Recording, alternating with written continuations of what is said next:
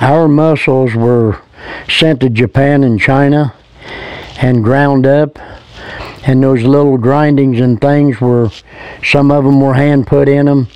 Uh, some of them were spread the way I understand it. I didn't understand the difference on that. But I know some of them are, are hand seeded.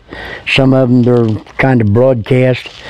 But they get inside there and it's, it's, it's like a, it's, it's like a tumor in the human body. The tumor the tumor grows and, and gets bigger. The body's trying to reject it all the time. And that makes it have more calcium. More calcium makes it a bigger pearl.